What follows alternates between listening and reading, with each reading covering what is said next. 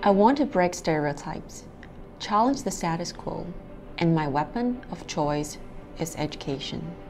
I wanted to master language that connects us all while sharing stories about the world. My purpose is to change the learning experience.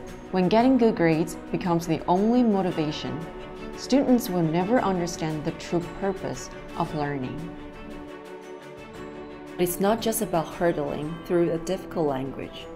It's about embracing differences. It's always tough when you want to break barriers. Press on.